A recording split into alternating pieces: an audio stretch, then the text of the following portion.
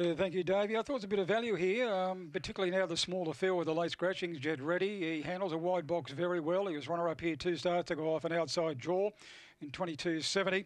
Not flash early, but if he can uh, be within striking distance by the turn, you know he'll uh, put himself on into the race. But got you.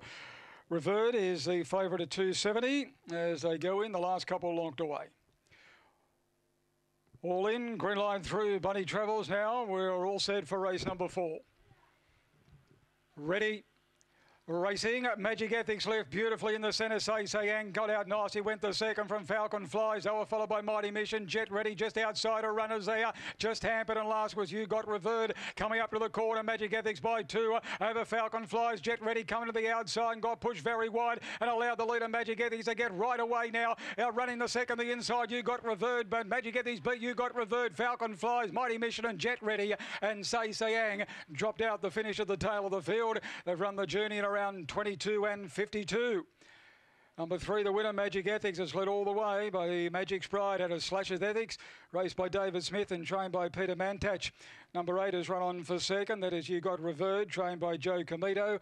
And number four, third, Falcon Flies, Ronald Webb. Number six, officially fourth, and that is Mighty Mission. Three, eight, four, and six. 22 and 52, a good run. 647 there was the run home.